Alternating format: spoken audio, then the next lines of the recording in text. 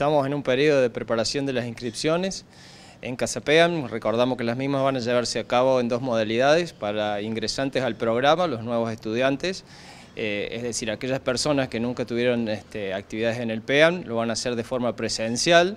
Eh, las actividades de inscripción comienzan el próximo 19 en el horario de 8 a 18 horas.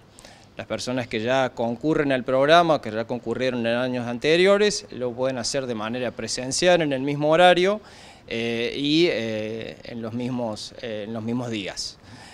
también lo pueden hacer de forma virtual, para lo cual se va a estar compartiendo un formulario de inscripción. Y bueno, las inscripciones van a extenderse hasta el primero de marzo para luego dar comienzo de manera inmediata a los talleres del ciclo 2024. ¿En cuanto a los requisitos? En cuanto a los requisitos, eh, deben presentar una fotocopia de su DNI.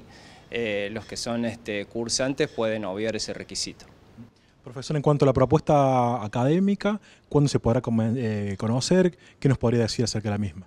Bueno, a partir del día de mañana en los diferentes medios, tanto de la universidad, las redes que disponemos, va a estar la propuesta educativa, que es muy diversa, van a encontrar talleres de distintos niveles y encontrarán este, una renovada propuesta educativa eh, para el ciclo actual.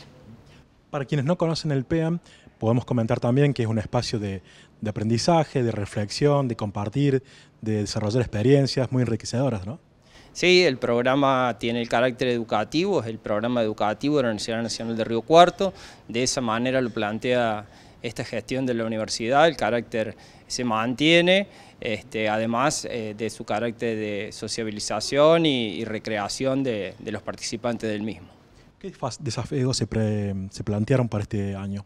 Bueno, el desafío es sumar eh, nuevos integrantes al PEAN y la expansión en territorio.